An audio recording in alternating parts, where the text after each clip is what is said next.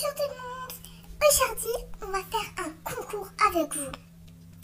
Le concours va s'appeler, euh, genre, pour faire une bannière, une bannière, une intro, comment vous l'appelez.